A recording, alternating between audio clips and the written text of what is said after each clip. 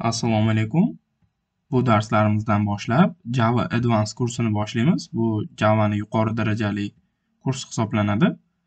Xo'p, Java darslarimizni bizi boshlang'ich darslarni kursini tugatdik. Java Object Oriented Programmingni tugatdik. Ana endi sizlar bilan Advanced kursiga ham yetib keldik. Bu kurs davomida biz nimalarni o'rganamiz?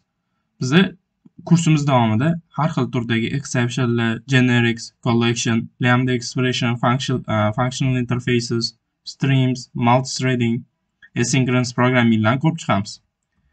Bu kursni o'rganishimiz uchun bizaga uh, oldin nimalarni bilishimiz kerak bo'ladi. Men sizlarga birinchi Javani boshlang'ich bilimlarini ega bo'lishinglar kerak. Buni YouTube kanalimga qo'yganman. Java boshlang'ich deb 5 soatlik kurs. Shuni ko'rib chiqsanglar, ancha o'rganib olasizlar. Keyin bilishingiz kerak bo'lgan narsa Object Oriented Programming. Bu 8 soatlik kurs. Buni ham YouTube'ga qo'yganman, bepul. Buni ham ko'rib o'rganib chiqqaninglardan keyin kelib bu yoqda o'rgansanglar bo'ladi.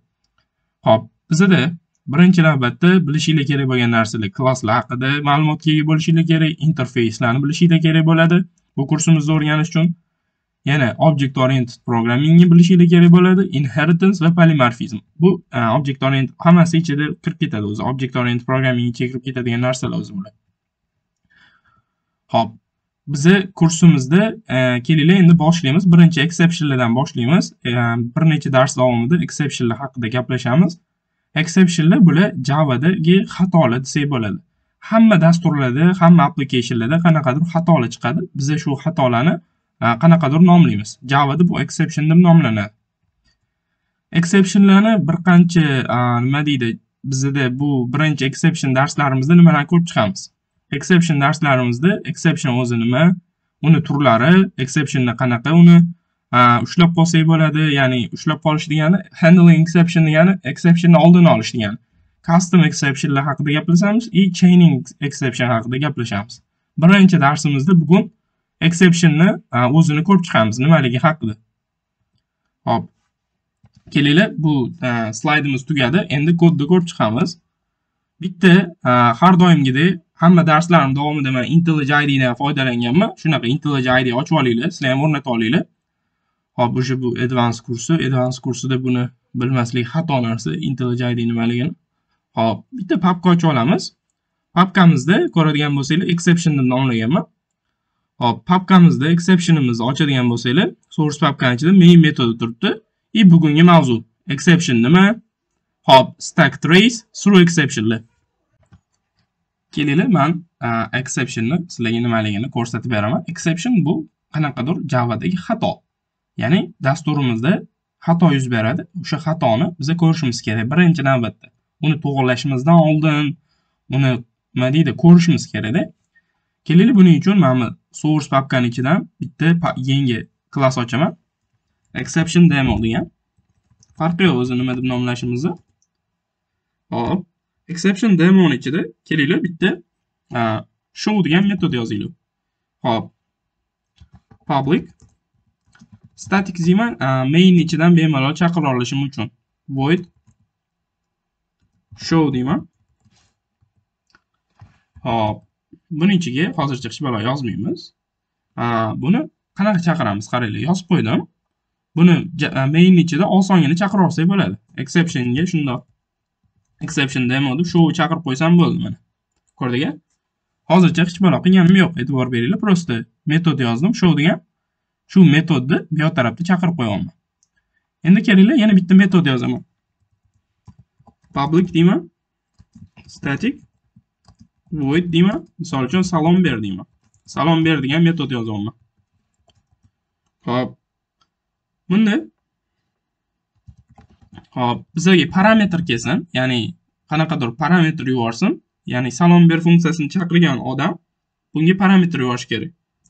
Kelinglar, string parametr yuborsin va ism yuborsin. Name deyman buni. ho'p buni biza kelinglar, mana shuni salom bermas inglizcha yozayotgan ekanman. Inglizcha yozaylik. Hop, say hello deylik. Har xil tilda yozishni yaxshi ko'rmayman, o'shanga inglizchada yozib ketaveramiz. Hop, endi bu yog'iga misol uchun e, name deymizda ismni kelaylik kattada yozsin. Yuborgan ismimizni. Hop, mana bu yoqda show ichida men buni chaqirib qo'yaman. Hop. Say hello ni chaqiraman-da. Hop, hozircha ism yozaylik farruh dedim endi hozir hech qanaqa xato bo'lmaydi chunki man to'g'ri yozganman hamma narsani bitta ishlatamiz. Ko'radigan bo'lsak farruh so'zini kattada chiqarib berdi. Endi biza xato nimaligini bilishimiz kerak darsimizni mavzusi xato o'zi exception. Hop buni ko'rishimiz uchun bizada mana buni o'rniga eng ko'p uchraydigan xatolardan bittasi bu null exception. Hop null yuborib qo'yamiz o'rniga. O'zi null yuborilmaydi agar sizlar hech balo yubormay qo'ysanglar misol uchun uppercase bo'lyaptida mana bitta string kelib uppercase metodi bilan uni kattaga o'giryapti nulni hech qachon katta o'girib bo'lmaydi. O'zi shundoq ham xato beradi. Hozir nol ketib qoldi. Ko'pincha foydalanuvchi bilan ishlayotganda mana shunaqa xatolar bo'ladi. Bu xato juda yam e, mashhur xatoda hozir. Ha buni ko'rsataman. Mana say helloga просто nol yuborib qo'yinglar bo'ldi. Endi buni ishga tushiraman. Ko'radigan bo'lsanglar bizada mana bu yerda hozir alt z deb bossanglar bundoq yaxshiroq ko'rinadi. Bizada java exception yubordi. Exception degani bu xato. Ya'ni bizada ko'radigan bo'lsak xato null point exception deb yozib qo'ygan. Null point exception bu javada eng ko'p uchraydigan xatolardan bittasi hisoblanadi. Bizada qanaqadir user tomonidan yoki o'zimiz tomonimizdan qanaqadir bizada nul yuboriladi. Qayoqqadir parametr sifatida nul e, yuborgani hisobiga bizga xato beradi. Endi e'tibor beradigan bo'lsak xato qayoqda mana bu yoqda bizada bir qancha narsalar yozib qo'ygan. Mana qaranglar exception demo say hello. Ko'radigan bo'lsanglar bu ustiga bossanglar bunga olib borib qo'yadi. Mana java yettinchi qatorda deyapti mana java demo javani yettinchi qatorda. Mana yettinchi qatorga boradigan bo'lsam buni kichaytiringlar. hop mana mana shu yerda xato bor deyapti hop bu yoqda biza xato ko'rmadik.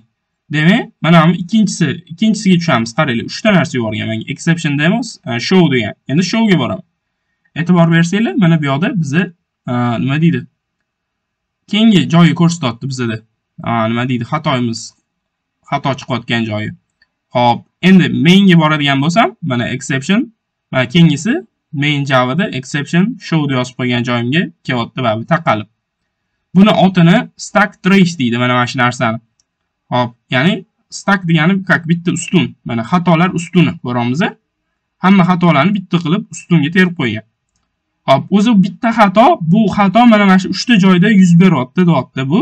3 ta joyda yuz beryapti emas mana shu 3 ta joydan kutish mumkin mana mana shu xatoni qayerdadir mana mana shu bir biriga bog'langanda hop bir biriga bog'lanib xato yuz beryapti agar sizlar yaxshi java developer bo'ladigan bo'lsanglar ya'ni dasturchi bo'ladigan bo'lsanglar bu xatolarni sizlar oldin olib qo'yishinglar kerak. Ya'ni handle qilib qo'yishinglar kerak. Handling degani xatoni oldini olish degani. Buni keyingi darslarimizda ko'ramiz kelayotgan darslarda yoki oldindan xatoni his qilishinglar kerak.